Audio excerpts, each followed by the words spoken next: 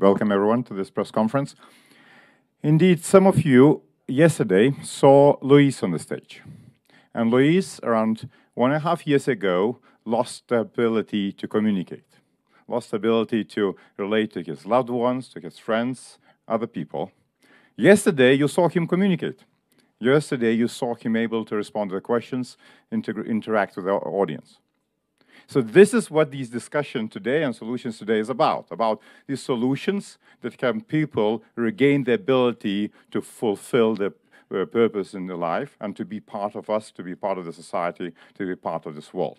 So we'll see today different solutions. We'll see brain uh, brain waves control speech. You know that similar solution that exactly the solution was yesterday. We'll see exoskeleton. I think we'll see around seven different solutions here, or exactly seven solutions here that will show how technology empowered by AI can help us really uh, live fully fledged lives in the society despite uh, differential abilities in this.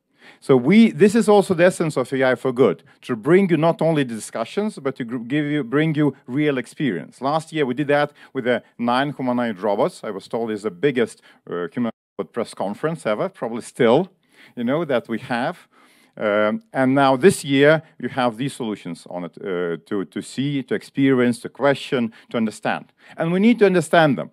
Because of course, as much as there is a lot of potential, there are also challenges and limitations that we also need to understand. There are ethical considerations that we need to understand how to control, how to govern, how to regulate. But we cannot regulate them well. We cannot talk about them well. We cannot have a conversation about them if we don't experience them, if we don't understand them.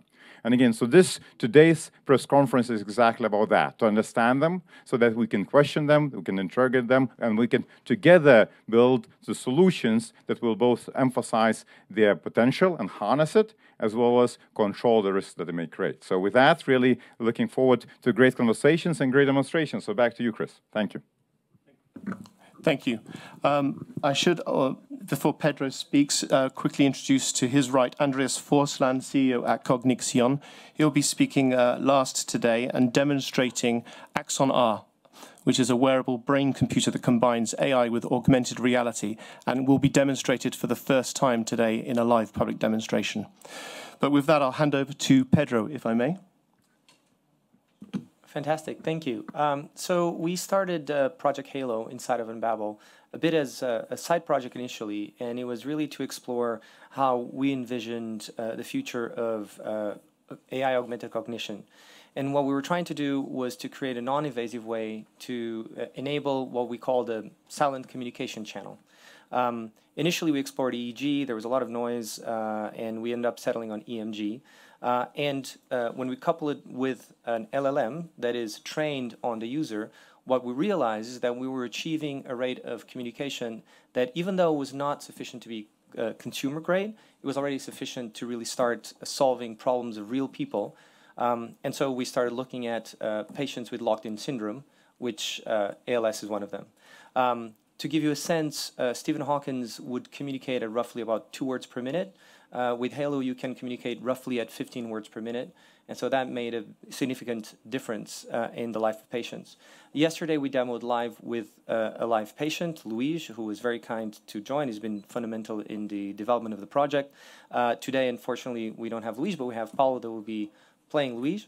Uh, and so uh, the plan is I'm just going to show you how it works, and then I welcome a question from the audience and take questions. Should be simple. So what I have here, uh, what I have here, you should see on the screen is uh, WhatsApp. I will send a message to Paulo. Paulo is here. Actually, Paulo, perhaps you can stand up. Uh, might be easier. Uh, just so you can see, he's wearing uh, the, B the current version of the BCI device. Um, and so I'll be sending this question uh, to Paulo, assuming, there we go. Um, I've, I'm told that the Wi-Fi is spotty here, so hopefully, hopefully that will happen. Paulo should be uh, getting uh, the message. And what's happening right now is, as you can see, Paulo has an iPhone, uh, uh one of the iPhone uh, pieces. So he's getting um, verbal interaction with the LLM. So the LLM is basically saying, given what he's been trained on and what he knows about Paulo, he's suggesting what is potentially a few answers that he could select. if the right answer is right there, it can immediately focus on that particular answer and select that to be used. If not, it can further explore the model. So we see here the uh, the answer from Paulo says it's been fantastic. So the question I asked is, Hi Paulo, what do you think of the AI for Good Summit? The answer is, it's been fantastic. Lots of inspiring talks and ideas. Can't wait to discuss our next big AI project. Now, another interesting thing here that we announced yesterday is a, a partnership with OpenAI uh, and using their voice LLM enables us to recreate Paulo's voice. Obviously, in the case of Paulo itself, he can speak, but in patients that lost their voice, what we realized is that a lot of times they have their voice recorded either through messages or through audio before. So we're able to take those samples and using the voice LLM, recreate their voices. And so this means that, and I'll, I'll play it here. Let's see if we can hear it. It's been fantastic. Lots of inspiring talks and ideas. Can't wait to discuss our next big AI project. Right. And so um, with this, patients are essentially recovering their voice and able to communicate with loved ones. Um, maybe we can take a question from the audience? And I can type it. Uh, oh, uh, no, sorry, I meant like, do you want to send a message to Paulo so that you can, you know, we can do one more message and then we can take questions. Okay, no, no, no, I'll do the question. Okay. Later, okay, there's a. Just a moment, please. Um, How pose your question uh, into the mic. How does it feel to to wear? to wear that um, headband on your head. The headband on your head. There you go. So I will ask this question, um, and let's see what Paulo answers without speaking. Um, yeah, one of the things that we've really impressed us is the fluency of the answers, and a lot of that is due to LLMs, right? So that's an interesting example of realistically we're capturing fairly small amount of EMG biosignals, um, but um, but because of the LLMs can expand that into a full natural language sentence, it really creates a much better interaction.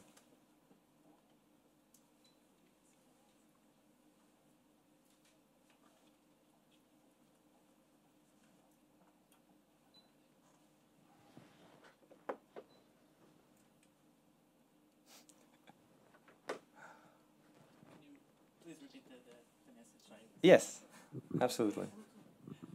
Oh yeah, I wonder if you got too far from the phone. No? Okay, let's try the question again. Always great with live demos. Uh, one thing actually that, um, since it's a good point, one thing that we're working on right now is increasing the robustness of the device itself. So we are not commercializing it uh, fully yet, exactly because, I mean, it's already frustrating for, oh, there we go. Uh, so uh, the answer is it's pretty cool, feels like I'm part of the future. Let me play the voice. It's pretty cool. Feels like I'm part of the future. Yeah. So it uh, it works fairly well, but it requires a bit of maintenance, and so it's not quite ready to be mass produced yet. That's the current phase, is really making robust. As you can imagine, it's already frustrating for Paul when something, when there's a glitch, but for an ALS patient is particularly frustrating. Uh, we've been having um, a very large amount of requests. Obviously, these are patients in significant distress, and we hope to bring that very soon uh, to the general, well, not the general public, but this particular segment of the population. Uh, the the plan is to uh, spin off Halo as an individual entity. That should happen the next six months. So I'm just thinking in terms of time, maybe we could leave some more questions to the end so we can get through because we have six other speakers, if that's okay. Perfect. So thank you very much for that. I'll, I'll ask if uh, Dr. Chieko Asakawa can now. Thank uh, you. Thank you. Uh, hello. So I'm going to talk about the AI suitcase, but I, first I have to apologize. This time I couldn't travel with my suitcase robot, so I'm going to try show, uh, you know, uh, by bringing as many parts as possible. So actually, this is a miniature of our AI suitcase. But before uh, introducing it in detail, let me, uh, you know, tell you a quick ba- background. Actually, when I became blind at the age of 14, I faced the mobility challenge because I couldn't go anywhere by myself. After becoming a researcher, uh, I you know, uh, started working on accessibility. And from around 2010 to today, I started working on the mobility challenge. And maybe you may think, why the shape of the suitcase? Please watch him. Uh, sorry, it is just a regular suitcase. But when I'm using that regular suitcase at the airport, I noticed the suitcase hits wall in front of me. Can hit? And then suitcase even fell down in front of me. So I thought it's a, it's going to be very uh, you know safe. So I uh, so I thought if we can integrate AI perception controls into the suitcase, it can be my new travel companion. So we are now developing the AI suitcase, and you can see the life-sized uh, suitcase uh, on the poster. So, uh, so suitcase uh, is equipped with several sensors. On the top of the suitcase, there is a LiDAR. I brought the real LiDAR here, and it measures the distance to the surrounding wall and obstacles. And under the LiDAR, there are three RGB depth camera. This is one camera. So it, it is used to detect pedestrians. Because of this camera and LiDAR, we can do the localization, and we can avoid collisions with obstacles and pedestrians. And inside of the suitcase, on the left, there is a GPU computer, and it does image analysis. And on the right side, there is a computer. It does localization, uh, controls maps, manage user interface via a smartphone. And our handle is very special. It's not just a handle. I brought the sample of a handle. It has various sensors inside of the handle. So when I grip it, it starts moving. It's very simple. And when I release it, it stops. Uh, because there is a touch center sensor under the handle. And when turning right, the right side of the handle vibrates. And when turning left, the left side vibrates. And uh, on the top of the handle, there are uh, you know, several buttons, and we can change the moving speed. So it's really simple. And we have it has been already a while since uh, we started working uh, because suitcase-shaped robots were really new, and it has been really new to lead a person, not autonomous robot. It's a kind of shared autonomous. We have to secure, confirm the safety of a user who will walk next uh, next to robots.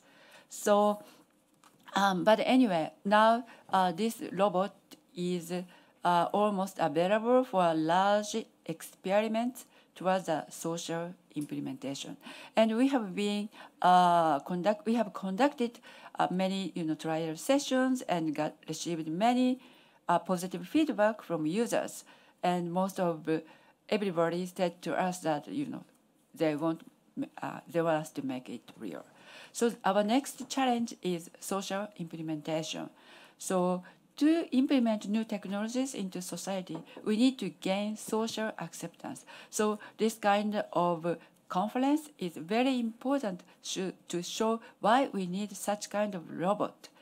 So uh, this was a great opportunity for me to be here. And another, we are, but I'm very happy to tell you that we are going to have another opportunity in Japan. So actually, maybe you may agree, uh, Expo is a great opportunity to, to, to accelerate the social implementation. And we are going to have a Osaka Kansai Expo in 2025. And we have been uh, working for an interactive AI suitcase daily event. And finally, we made it. So just this week in Japan, we announced that AI suitcase is going to be at the Osaka Kansai Expo. We are very sorry I cannot show you today, but please come to Japan and experience it at Osaka Kansai Expo. Thank you very much. Thank you, uh, Dr. As Asakawa. I'll now hand over to uh, Nicolas Simon next to me to do uh, his demonstration, please. Yeah, so, uh, hello everyone. So I'm Nicolas Emma. I'm the founder of Wandercraft. So we started 12 years ago to build uh, an autonomous exoskeleton but Charlotte will demonstrate uh, to you. So basically, it's legs of a humanoid robot able to carry a human up to 100 kilograms. So there is a lot of sensors motors, and we compute every millisecond the order to keep the balance and walk.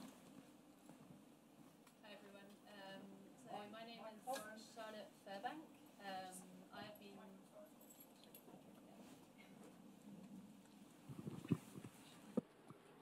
Thanks. Hi everyone. Um, so as I said, I'm Charlotte Fairbank, and I have been injured for just under 16 years. Um, I've got a complete paraplegia, meaning that I can no longer feel my legs or move my legs at all. Uh, so no longer able to walk. Um, luckily, Wandercraft has helped me in the in the sense that has they have enabled me to to be able to walk again. Um, and just before this pref- press conference, um, we had a demo on the main stage, and um, it was basically the first time in 16 years that I was walking across a stage. Um, so I'm now going to show you what we did earlier. Thank you.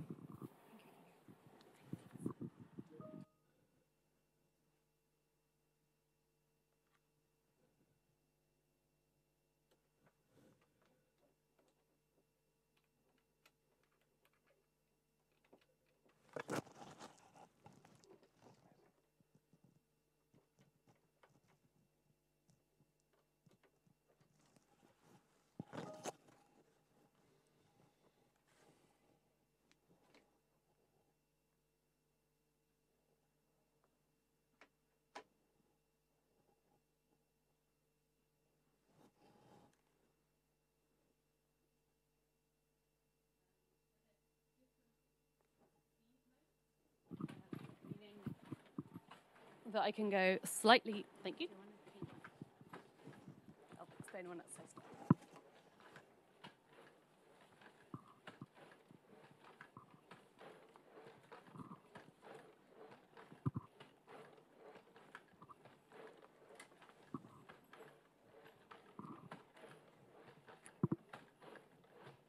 I'm just going to stop here. Sorry for those. Sorry for those behind me. Um, but so there are different speed modes. Um, this was on the second mode. I can put it slightly faster.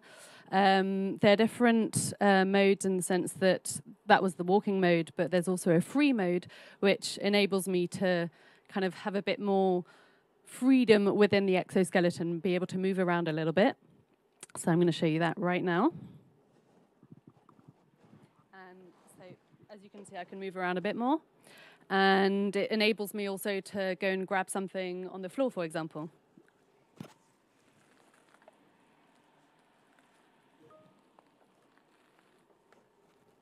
Um, so on the floor or up up above, um, it just gives me a bit of, a bit more freedom to move around.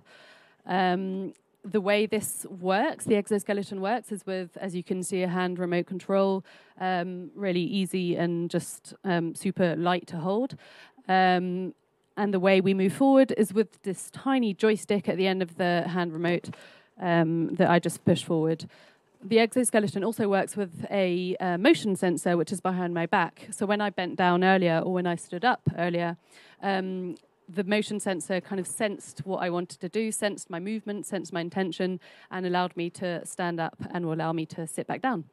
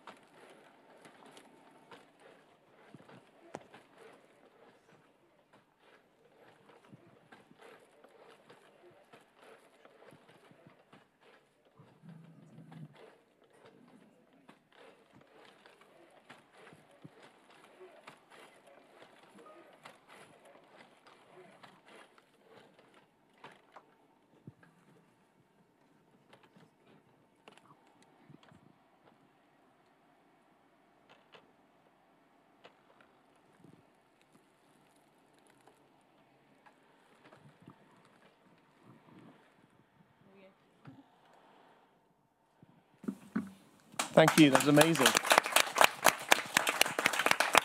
Thank you. Well, thank you very much, Charlotte. That was amazing. Thank you.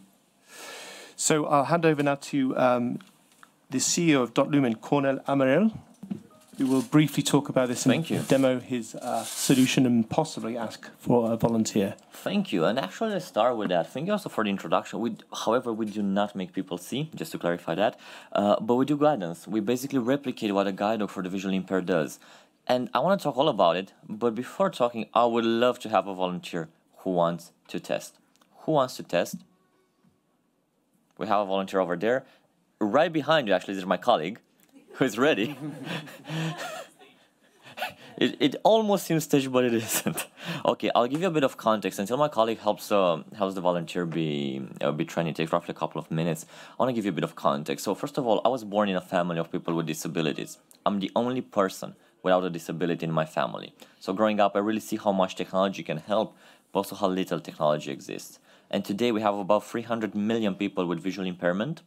But if you check what solutions they have for their mobility, the most used ones are still the white cane and of course the guide dog. And the guide dog for the visually impaired, it's a great solution. It does good what it does, but it has a couple of drawbacks. It's a lot of care, a lot of work to take care of one. And two, if we check how much is being spent on training guide dogs, last year half a billion euros was spent on training just 2,000 guide dogs. That makes the cost of a guide dog above 200,000 euros that is not a scalable solution.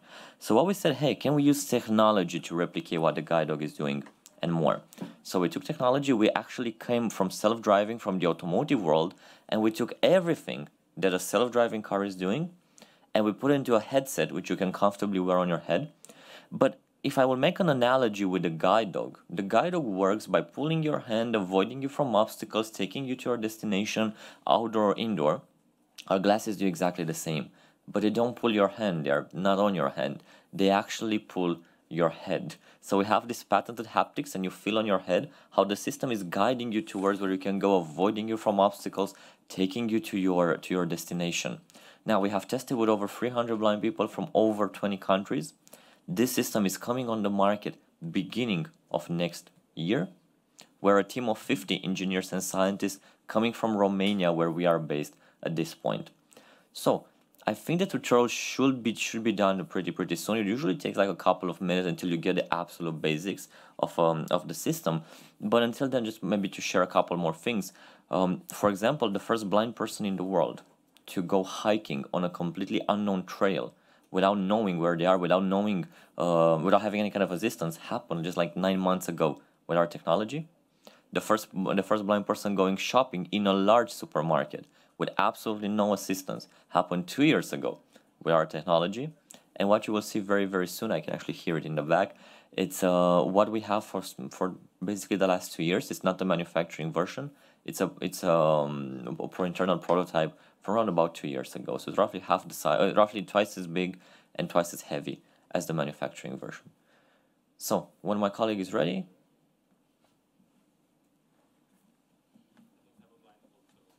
he can close his eyes if he doesn't if you don't have a blindfold for him.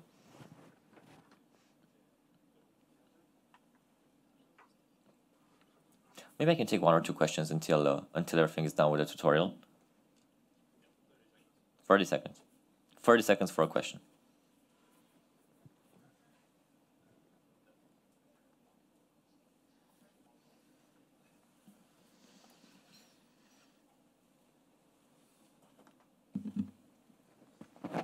In the meantime, maybe you can tell us about the inspiration for the company. Sure, sure. I mean, definitely inspiration came from from the family I was born in. I mean, everybody in my family, my parents, sister, nephew, cousins, all of them have disabilities ranging from visual, uh, locomotive, mental disabilities. I'm the only person without a disability in my family, and after a career in the automotive world, spending time in autonomous driving, understanding well how that can help in the in the road environment, we basically said, hey, I think we can use this technology for helping uh, in other environments. So the underlying technology, what we invented here, we call it pedestrian autonomous driving, is the first general level navigation system which can actually do everything a self-driving car does, but on the pedestrian environment. So understanding the world in 3D, understanding where it is safe to move and not, path planning to take you to specific goals, and actually in the end representing uh, representing the information.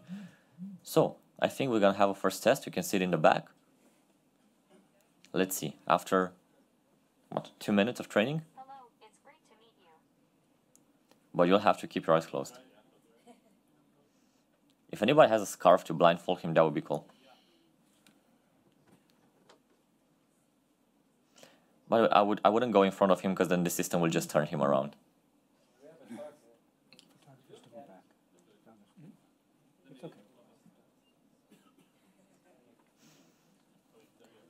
That would actually be cool. I think you can bring him to the front directly, so it's it's even better, so we can see him over here.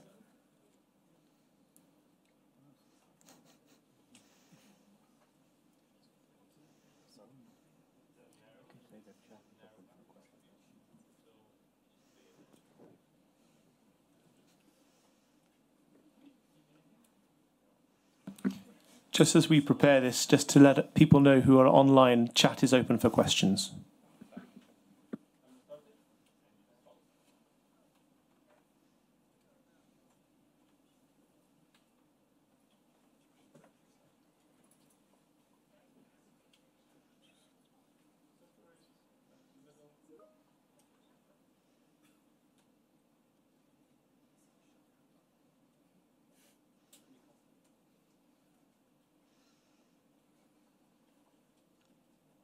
Just to explain a bit what he feels, he basically feels the device pulling him in the direction where it is safe to go. Of course, I guess this is his first time in his life walking blindfolded, so uh,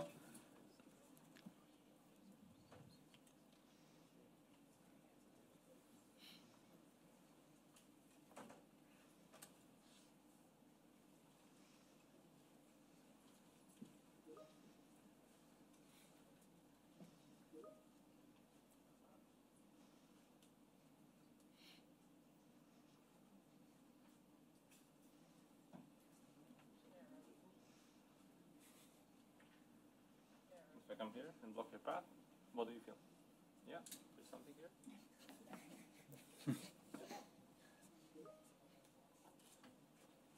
So does he feel something? Yeah. So he basically feels the device directing him in the direction where it, where it is safe. Now, this is not an environment appropriate for the technology. It's mostly designed for outdoor. Um, outdoor, it would actually keep you on the sidewalk, help you understand there's a crossing, help you cross the crossing.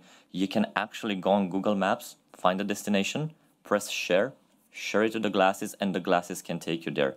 Pretty soon, that will include public transport. You can be in one corner of the city and go directly to the other one, and the device will take you there, including public transport in the nearby future. You will ignore that hand because you can see it's a human.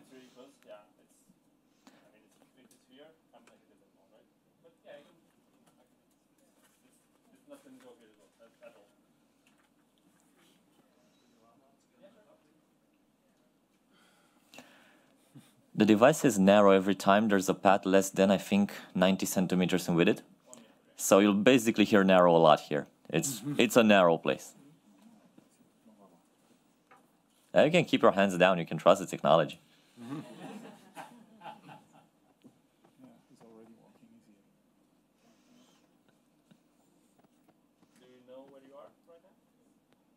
Let's let's take the blindfold off. Let's see if he knows. Let's reveal. oh, wow. Thank you. Thank you.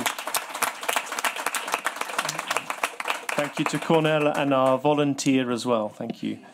So I'll hand over now to uh, Dr. Jose del Millán uh, and his team to demonstrate uh, a hand-controlled hand, uh, sorry, AI-controlled hand uh, exoskeleton. Thank you. Hello, um, I am pleased to share with you today one of our latest brain control devices. This is a brain control hand exoskeleton that it is intended for rehabilitation, how to provide people the possibility to recover motor function after a brain insult. It has two components. One is the hand exoskeleton that has been developed by my colleague, Dr. Ashish Deshpande, um, the hand exoskeleton has to provide very precise, repeatable movements because this is essential for rehabilitation, to do many times the same movement so that the central nervous system understands that this is the movement that the subject wants to do. And this, when it is coupled to a brain-machine interface, that is what we develop in our lab, will provide two kind of things. One is enhancing plasticity, meaning that the brain will start discovering, rewiring the pathways that uh, originally were damaged in order to discover others. And this repetition will tell this uh, activity which is the way to go. But the other component is to have the commands generated in the brain of the subject, in particular around the areas that were damaged. Because one of the properties of our brain is that even if the hand control it is uh, normally uh, in, in, represented in a very particular area, there are other areas that are also partially representing that movement. But this is not enough to generate the actual movement. So what the brain-machine interface does is to identify to decode the intention to make a movement that the patient cannot execute. The brain-machine interface will be delivering the command to the hand exoskeleton that will execute. And now we will have two signals. One is descending, because there will be activity from these partial representations of the brain going down the spinal cord. This will not be sufficient. This will be matched by the ascending patterns of activity because of the movement, plus the fact that we are delivering stimulation on the peripheral nerves that recreate the sense of movement. And these together will reinforce those patterns of connectivity. The latest innovation that we are presenting here is the fact that uh, in the same way that we need a rehabilitation robot that does always the same movement, ideally we need the patient to do always the same kind of um, activity in the brain so that the two are coupled. This is um, quite difficult. What we do is to use novel algorithms that will take a model, eventually the model of a healthy person who has a very good control of the brain-machine interface, and match the data of the patient as the patient is Uh, using the brain-machine interface to that data, that model, so that immediately the person can have control, enough to benefit from the rehabilitation. These days in the exhibition area, there have been visitors who have never tried a brain-machine interface, and after two, three minutes, they were capable to control the hand exoskeleton because they were using the model of one expert. So the two together is um, spreading this massive plasticity process and allowing people to have immediate control of a brain-machine interface. So now I pass uh, the, the, the, the, floor to Ruofan, one of our lab members, that will be demonstrating the fact that uh, whenever he will be imagining the closing of the hand, the brain-machine interface will be decoding, activating the hand exoskeleton, and in some other occasions, we will be willing to stay at rest because it is equally important that we do movement whenever we want to do a movement as it is that we don't any movement when we don't want to do a movement. Otherwise, we will not be in control of our body. We will be Parkinsonians in a given sense. So, Ruofan, whenever you are ready.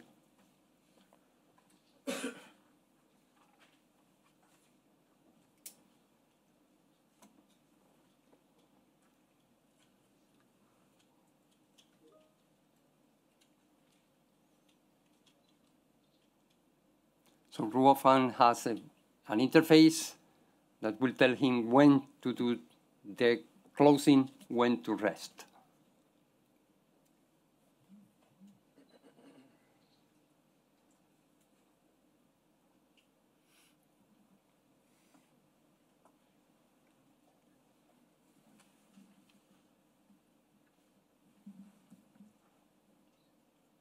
You can see now the movement.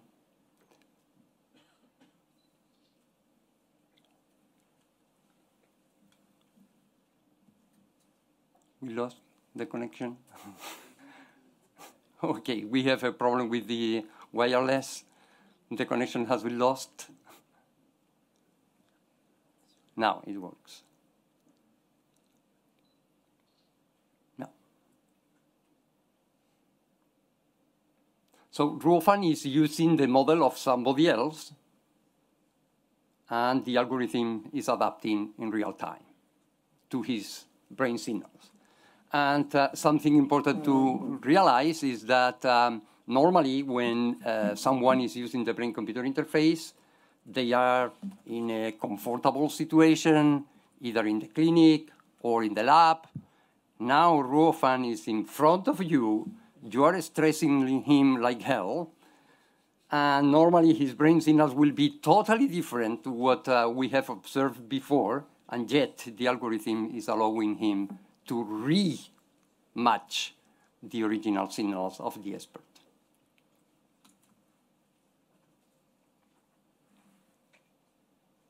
If any of you want to try, we propose this game that Ruofan will be controlling your hand. For that, uh, all what you need to do is to lend us your arm. We will put some electrodes these are the electrodes that will deliver uh, currents to your peripheral nerves. And these electrodes will generate contractions of your muscles so that you move your hand. Actually, Ruofan will make your hand move for you. Might I actually suggest, because we may run out of time, that we could do that just afterwards? Yep, yeah, Would sure. that be okay? Whenever you are ready. Thank you. Thank you very much for that. Um, so Dr. Jose and his team will be demonstrating um, afterwards, but also there will be a workshop afterwards as well, and uh, we'll be in the exhibition area as well. So I'd like to turn now to our penultimate presentation and demonstration from the team at Inclusive Brains, if I may. And then we'll, um, we'll do one more demonstration um, from Cognixion and we'll open to questions. Thanks a lot. With Paul Barbaste, my co-founder, uh, we have one observation that we should all be making is we spend our days adapting to machines, and it should be the other way around. Machines should adapt to people. Machines, artificial intelligence, AI models, you name it, they just here to serve us, to assist us.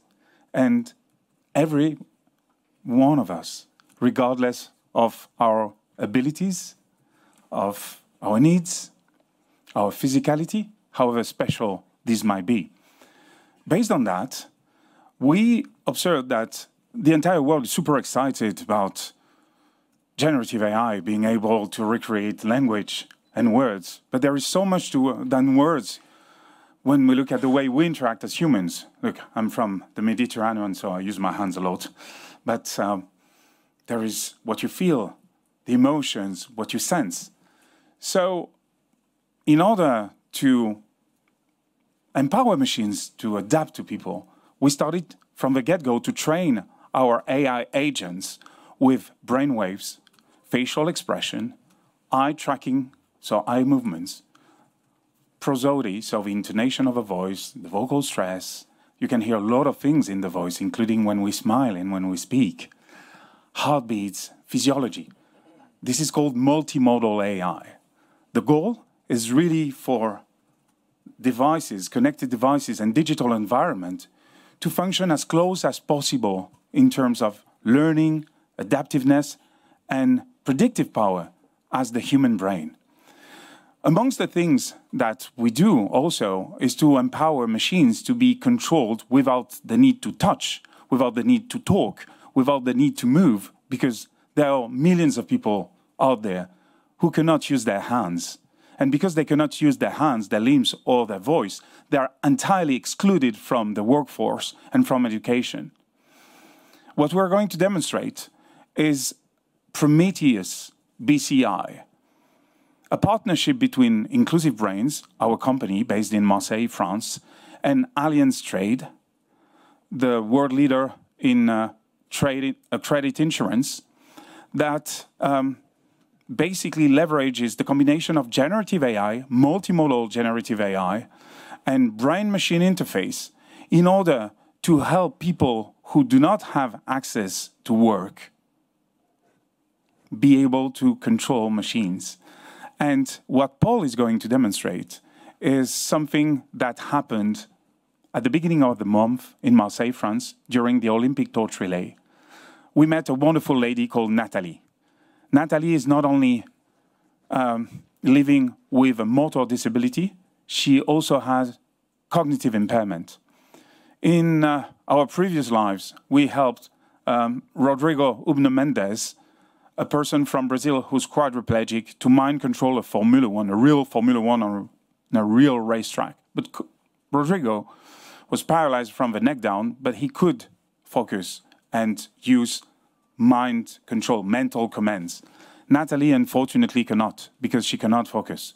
But Natalie can do two things that are amazing on demand and that she controls. She can blow a kiss, so she can do, and she can open her mouth and give a wonderful smile to show that she is happy. And when we met Natalie with Paul, our usual mental command algorithms wouldn't work with her. So just like a tailor, we tailor the solution to her by creating a combination of her brainwaves, her facial expressions, and her muscles, facial muscles, to empower her to mind control Prometheus BCI, this exoskeleton arm that will be given after the Olympics to um, organizations, non-profit organizations that uh, support disability. We will also put the mental comment algorithms open source, and this is thanks to our partnerships, uh, our partnership with Allianz Trade. So, Paul, uh, I think it's time for you to give a little demonstration of this technology that really combines what is happening on his face, what is happening in his brain, and what is happening in his facial muscles, the way Natalie experienced it. Okay, hands off. I'm excited for our conversation. Again? Could you yeah, tell stop. me more about the technology you're Yeah. excited to discuss? Well, now let's go down. Stop.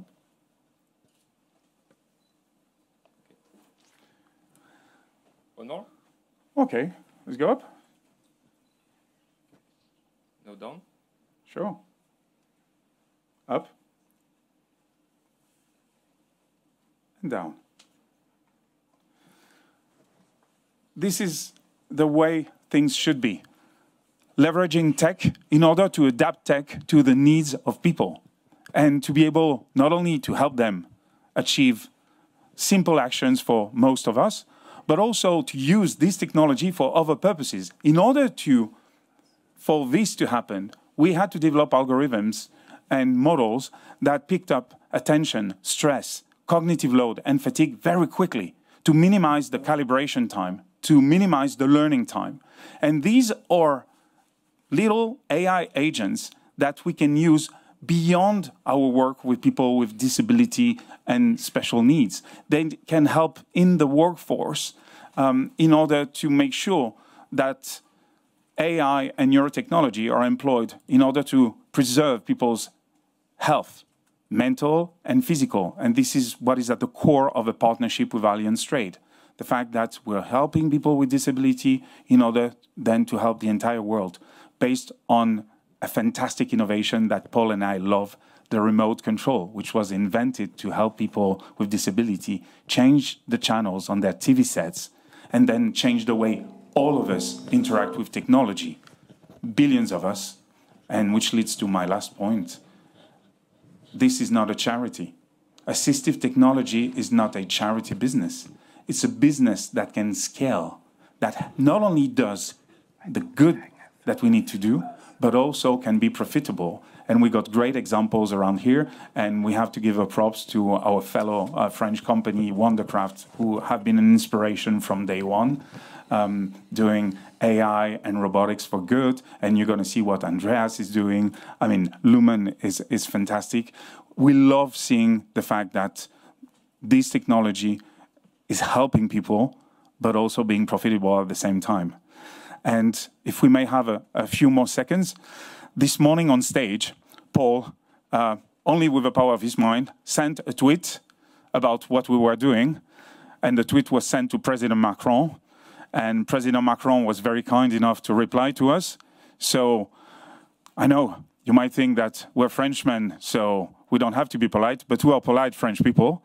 So we have to thank President Macron. And Paul, uh, if you can have a look by coming uh, uh, behind, Paul is going to send right now live our reply to thank President Macron for his support, and of course mentioning that all of this happened in this incredible event. Thank you, ITU. Thank you, the United Nations.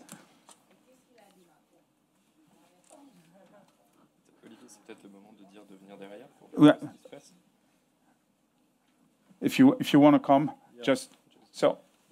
Paul is using a combination of his head movement and his brainwaves. So he can choose the letter with his head, and then he's clicking with his mind in order to uh, gain some speed.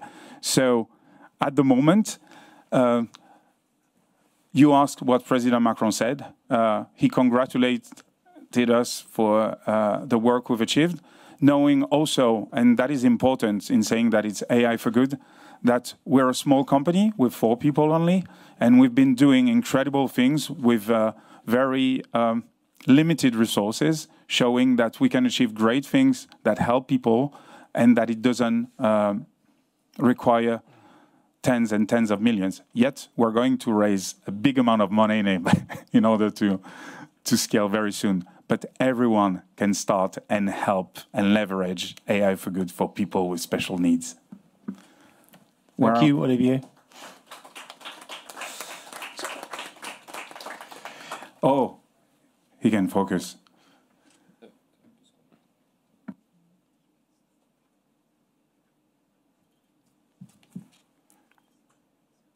going to share the video afterwards.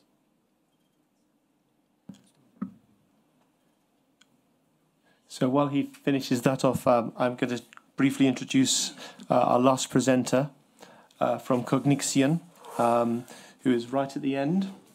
Uh, and then we can open to questions. So over to you. Thank you, Chris. Uh, can you hear me okay? Uh, I'm going to stand up. um, so my name is Andreas Forsland. I'm the founder and CEO of Cognixion. Uh, we're based in Santa Barbara, California. Uh, we have an R&D center in Toronto, Ontario. Uh, what I'm sharing here today with you is a product we're launching now. Uh, uh, we're launching it this week. Uh, internationally, it will be available uh, in the fall. It's available currently for sale in the US and Canada. The product is called Axon R. It's a fully integrated brain computer interface with augmented reality. Uh, so it's one complete system. So I can actually see each of you through the lens. this is a tinted lens for light contrast, but it projects holograms on the inside. Uh, and this system here is called the nucleus. It's a neural hub. And so you see sensors on the back of my head. These are brain sensors using EEG. Uh, so what it's doing is it's processing the data of what I look at through the visual cortex of the brain.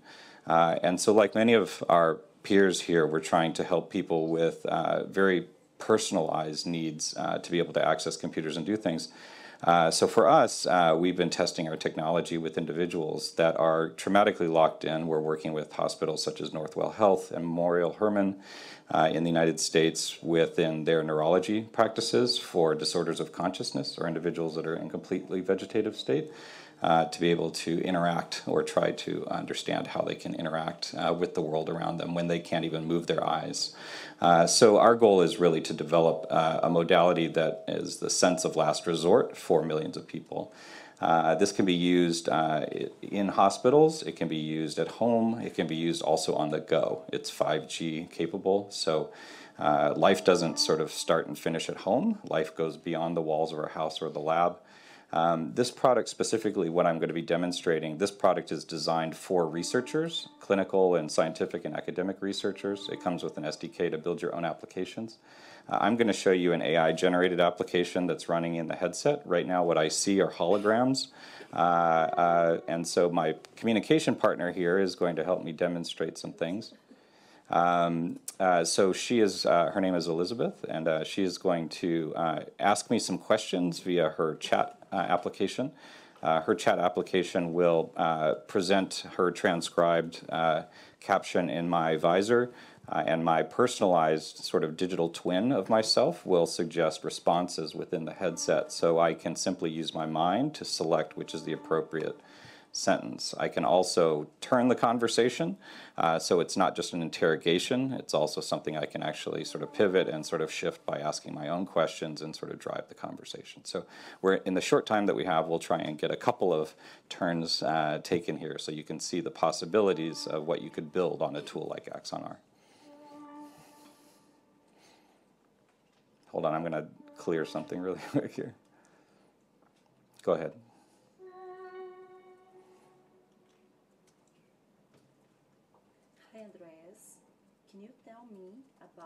About Cognixion and what is special about the technology?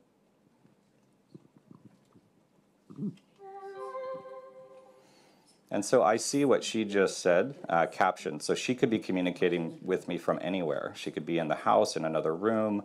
Uh, she could be asking me, what do I want for dinner? Um, but in this case, she's asking me about the company.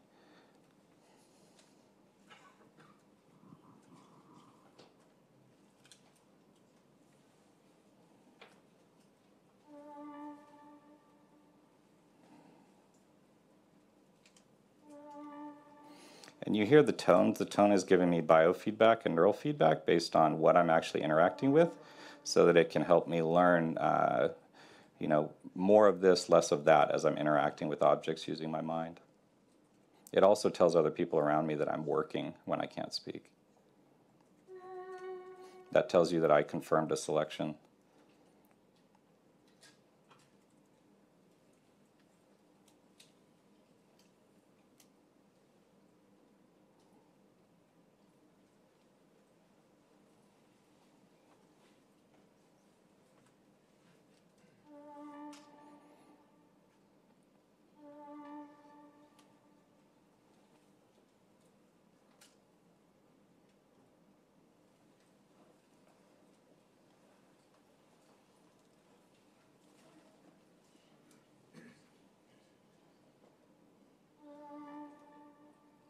I'm going to refine it.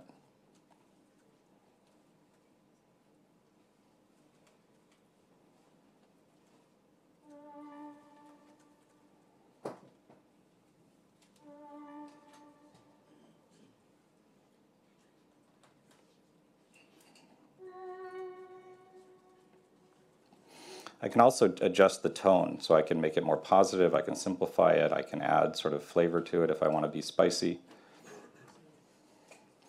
In this case, uh, I'll be pretty straight.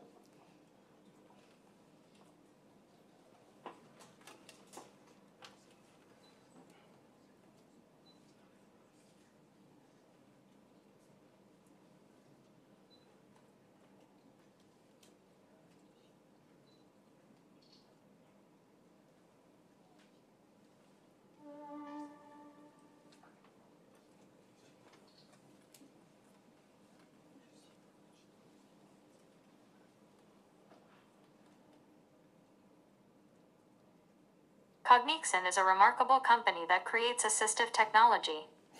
So that was entirely using my brain, no muscles. Um, it's paying attention to what I'm paying attention to. So I can actually monitor uh, what I'm intentionally paying attention to, and I can also train my mind to uh, deselect or avoid things. It's called overt and covert attention. And so we can monitor and measure that level of uh, brain activity uh, through the visual cortex. And so you can imagine uh, an individual who has, uh, say, late stage ALS or others who their eyes, uh, they, their ocular motor doesn't work so well, uh, and they have very uh, trouble time sort of using eye tracking. It, eye tracking tends to fail in later stages of, of disease progression. So uh, this kind of technology would allow someone to look straight ahead and we can monitor what happens in the peripheral vision so that you can actually select things that's within your broader field of view uh, using just your mind. Um, so it has tremendous applications uh, for accessibility, especially for the most vulnerable.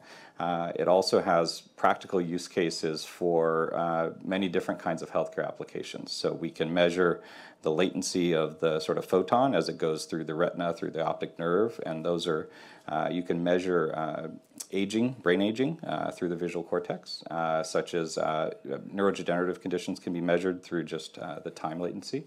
Uh, there's also emerging science around therapeutics for dementia uh, and uh, Alzheimer's for uh, 40 hertz light therapy that can be uh, uh, implemented within the visual field to help with memory care and reduction in amyloid plaques.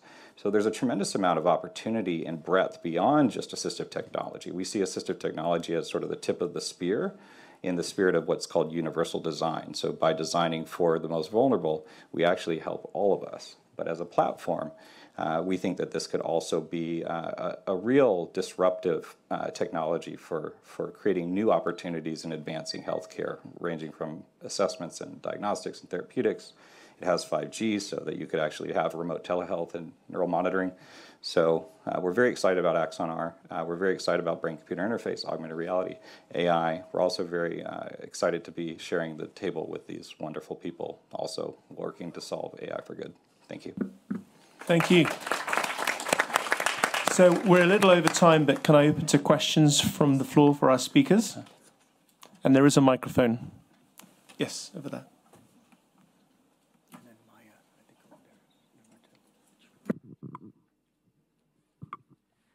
Hello, thank you for your uh, presentations.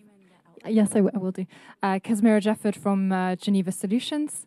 Uh, just a question to any of you that like to take this. Uh, a lot of the conversations that take place in, in, in Geneva are about the ethical implications of uh, some of these technologies. Could you speak to some of the uh, risks that your technology, you've talked about how they can be harnessed for good, but what could happen if your technologies were used for uh, bad purposes and what scope do they have for being hacked or yeah exploited uh, for other reasons in our case, essentially, we're creating a separate channel of communication. So the same way that you're selecting what you put into verbal mode, so what you speak, uh, which is independent of thinking, um, is the same here, right? So we're not reading people's thoughts. We're just creating an easy way for them to express themselves using specific uh, biosignals. So from that perspective, the privacy issue is, is bypassed, so we don't see that. Uh, obviously, there's there's always possibilities, uh, you know, for insecurity in different devices, which is why we take security very seriously. Uh, but so far, that's been one of the biggest questions, and uh, in our particular case, it isn't an issue. And from what I've seen, probably not in yours either. Uh, I, would say Andreas here Cognixion. I'd say uh, our perspective is that we've been we started the company ten years ago, so we've been spending a lot of time thinking about this and working with patients, and, and we have a, a user advisory council of over uh, 200 people with severe disabilities that give us actual lived experience and feedback on these types of things. And there's always trade-offs around data and privacy. The the utility of these kinds of technologies outweighs any kind of risk of privacy data.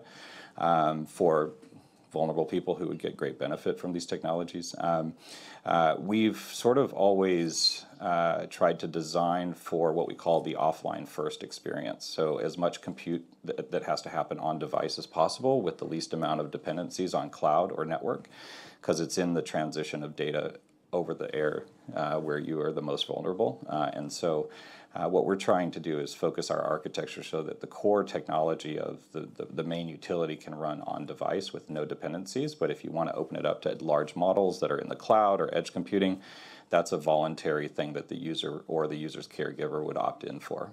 And they know what that consent would look like as far as vulnerability. Thank you. Did I have a question over here? Thank you very much. Uh, uh, my question is for Mr. P oh, it's Maya Plentz from the UN brief.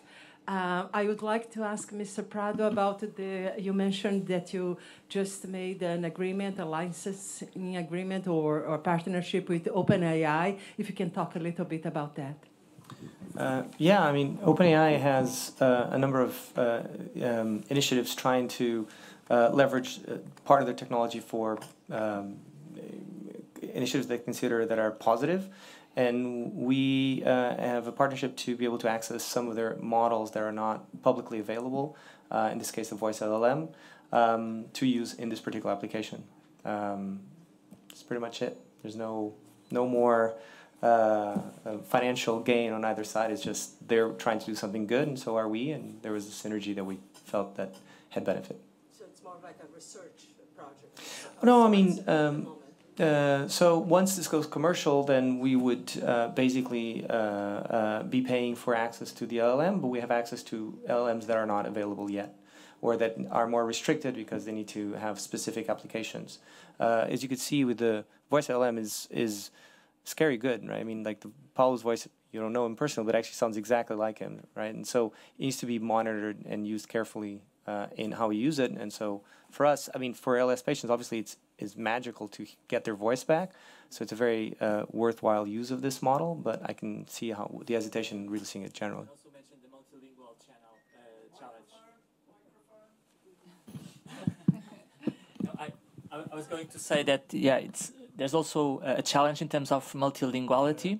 Okay, because for example, uh, kind of the cloning of my voice in Portuguese uh, sometimes comes up is Brazilian, looking, sounding like Brazilian Portuguese, and so we're going to partner on that also because these kind of models are biased towards certain languages, and so this is a challenge that we have to face also. And so the collaboration is uh, both ways. So and Babel is also going to. Thank you. I think we have a question from John. If We can have the microphone. Uh, John Halpern, Arete News just a quick question. I'm just wondering if anyone, any of you can address um, uh, what you're doing or how difficult it is to um, to address social biases, reduce discrimination and inequality, um, to make your technology as inclusive as possible. Well, this is an excellent question. Um, the, when you come to the field of assistive uh, technologies, when you come to the field of health, and uh, in this case, rehabilitation, um, we are in a given sense uh, out of control, especially for rehabilitation, because that depends on the health system who will be paying on behalf of the patients. So what we want is to um, make a technology that eventually patients can take home. It will not be exactly this one, this is intended for the hospital. But if we can make the technology in such a way that people can take it home, we will be reducing the cost, and some of these uh, uh, fellows are showing that, so that we will be reducing the cost of the rehabilitation so that it will be beneficial for the system to accept those kind of interventions. Thank you. Any, any other perspectives from our speakers?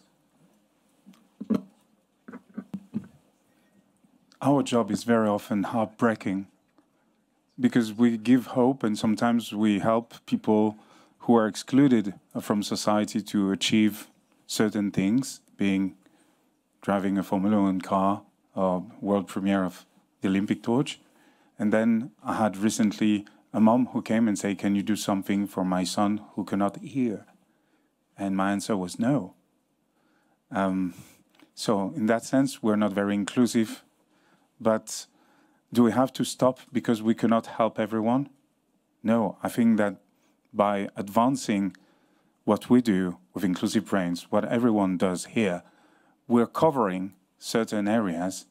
It's at the same time extremely rewarding and heartbreaking not to be able to, to help people, to provide assistance. Um, and we hear a lot of, of comments and questions like that, sometimes very kind, sometimes not very kind. We're doing our best, and uh, as usual, the best is not enough. So we're going to do more. Thank you. So I think we have time for one or two questions, and then we probably need to finish. We're 15 minutes over.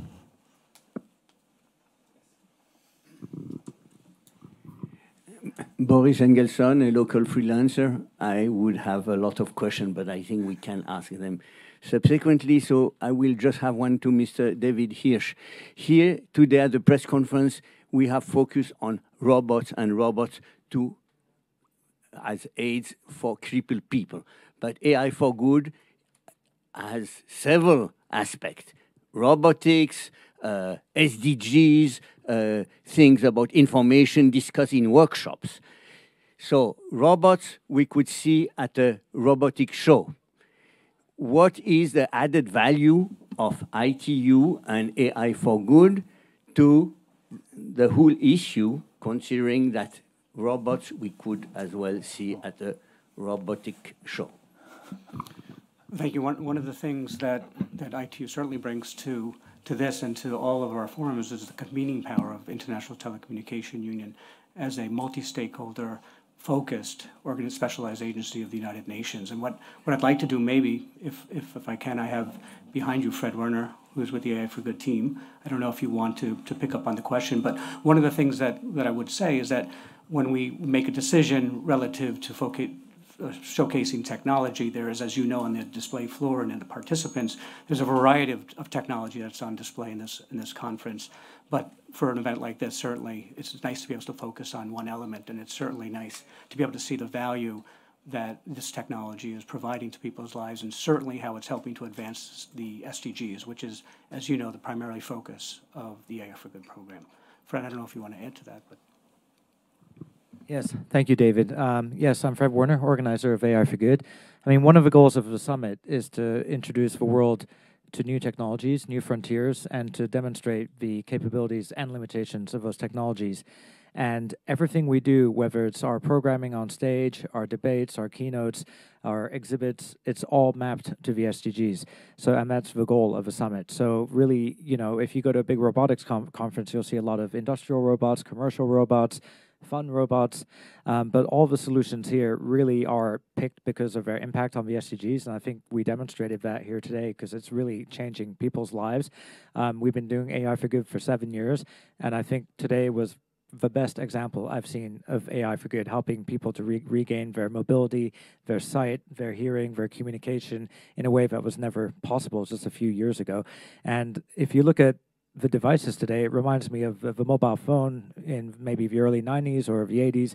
A bit big, clunky, it worked, but it didn't take long to get the iPhone. So just think about how long it will take before these are really, really mass, mass deployed, deployed, helping, people, people regain, regain their mobility. mobility. And, and, then, then what, what we're looking at the future is, you know, going beyond that. How can this help people with, with uh, mental health, with human performance?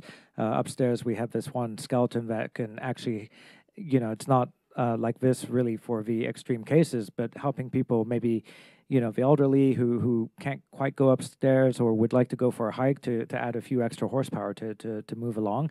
I mean, these are amazing examples. And then uh, also there are other examples where, you know, you wouldn't want to send a human into many situations like like a fire or a nuclear meltdown or into maybe a cave that's about to crumble. So upstairs there are quite a few demonstrations of robotics for natural disaster management and also use cases for for like agriculture obviously medicine uh, productivity tools. So yeah i think this is basically the best example of AI for good I can think of. But underlying that is really the SDGs. Without the SDGs, you know, people are flying blind. You know, so at least we have a common framework and agreement of, of what direction to go in. Thank you, Fred. Um, I also have a, a potential answer from Olivier to your question, Boris. So over to you, Olivier. We heard from the organizers. So as a guest uh, here, I have to respectfully disagree with you, sir. This is not a robotics demonstration or press conference. We're talking about the outcomes, about how we change the world, or the little micro steps we're doing in order to improve the lives of people, be it with hardware agnostic solutions that we're doing with Paul. Uh, here we're working with an exoskeleton, but actually our solution will be uploaded to any connected device uh, a virtual environment. You see uh, what Lumen is doing. I didn't see any robot here. I saw humans in action and I saw great advances. And I could speak about every company here about their outcomes. And I, I really hope that one day people will stop asking us about what we do in terms of technology and focus on outcome. If I were a carpenter, I wouldn't be talking about my hammer. I would be talking about what I built. And I think what we built is much more important than robotics or AI. Thank you.